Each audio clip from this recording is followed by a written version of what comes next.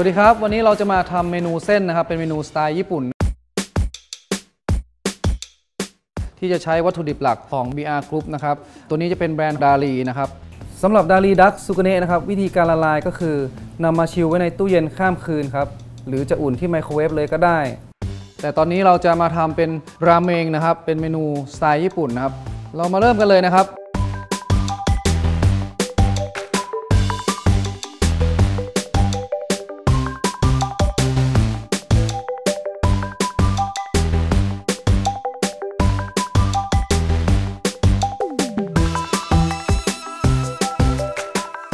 วัตถุดิบและเครื่องปรุงพร้อมแล้วนะครับ เดี๋ยวเรามาลงมือทำกันเลยดีกว่านะครับ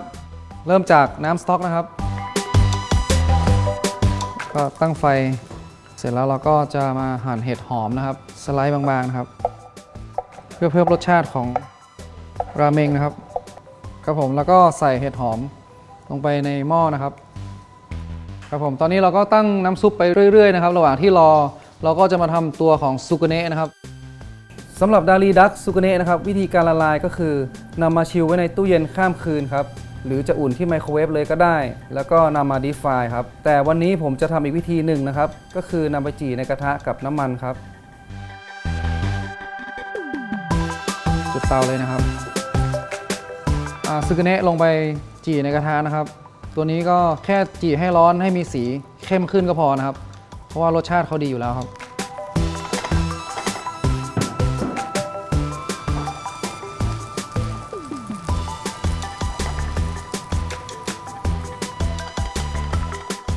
เขย่ากระทะนิดนึงนะครับให้มีสีเข้ม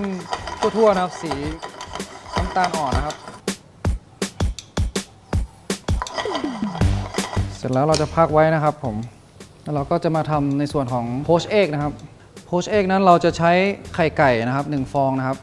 ก็ตั้งน้ำให้ร้อนนะครับ แล้วก็ใส่น้ำส้มสายชูลงไปในน้ำแล้วนะครับ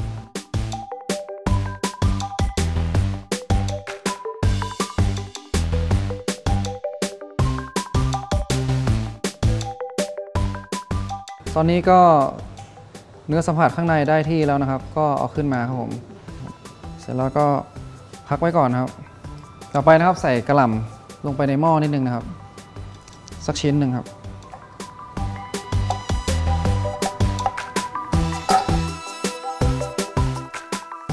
แล้วก็บรอกโคลีนะครับไม่ต้องเยอะนะครับ แล้วก็ใส่เส้นนะครับ ไม่ต้องลวกแยกนะครับเราต้องประหยัด ทรัพยากรน้ำนะครับ ต้มประมาณ 2 นาทีครับผม ตอนนี้บรอกโคลีก็สุกได้ที่แล้วนะครับ ตักขึ้นพักไว้ก่อนนะครับ ถ้าต้มทิ้งนานอาจจะเละไปทำให้เสียรสชาตินะครับ จากนั้นก็ใส่คามาโบโกะลงไปครับ ตอนนี้ลองจับดูเส้นดูแล้วมันก็ไม่เหนียวมากแล้วนะครับ ถือว่านิ่ม ถือว่าใช้ได้แล้วนะครับ ตอนนี้ก็ปิดไฟไปสักพักหนึ่งก็เขาก็จะ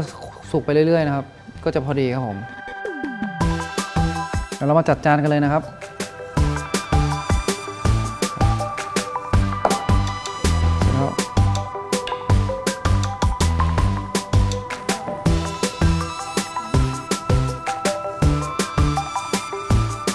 ใส่ผักนิดนึงนะ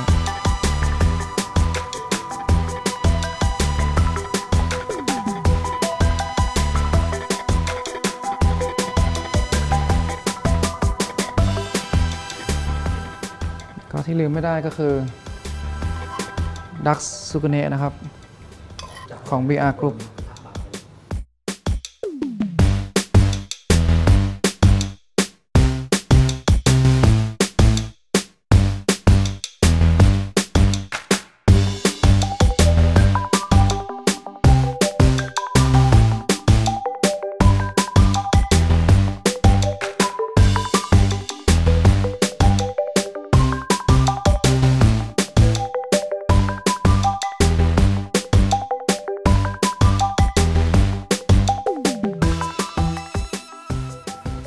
นี่แหละครับ ดาลีดักซุกุเนะราเมงนะครับ มีความกลมกล่อมของน้ำซุปเข้ากับดักซุกุเนะได้เป็นอย่างดีนะครับ ลองทำทานกันนะครับ